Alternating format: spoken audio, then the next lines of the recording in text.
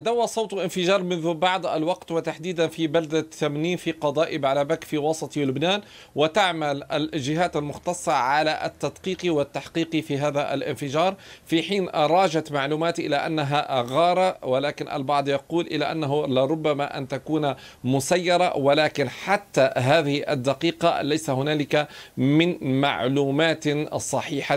تشير وتشرح ماهية هذا الانفجار. وكان قد سبق سبق ذلك غارة باتجاه البقاع الغربي وتحديدا في بلدة السحمر التي تقع على آخر بقعة من الغربي بمواجهة جنوب لبنان. وتحدثت المعلومات على أن الغارة استهدفت منزلا غير مأهول سوي مع الأرض. ولكن بالتوصيف العام للتطورات الميدانية العسكرية على الأرض في البقاع يمكن التوصيف إلى أن هذا اليوم هو الأخف ضررا على مستوى الغارات وأيضا على مستوى الضحايا لأنه لم يسجل لدينا من ساعات الصباح حتى هذا التوقيت أي من الغارات وتحديدا على قضاء بعلبك الهرمل الذي سبق ذلك إلى أنه كان بالأمس هو الأعنف في سلسلة الأيام التي سبقتها وبغض النظر أيضا عن التضارب في الروايات